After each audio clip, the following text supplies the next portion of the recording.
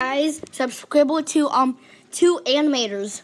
Um, yeah, just do that now so like we can get subs.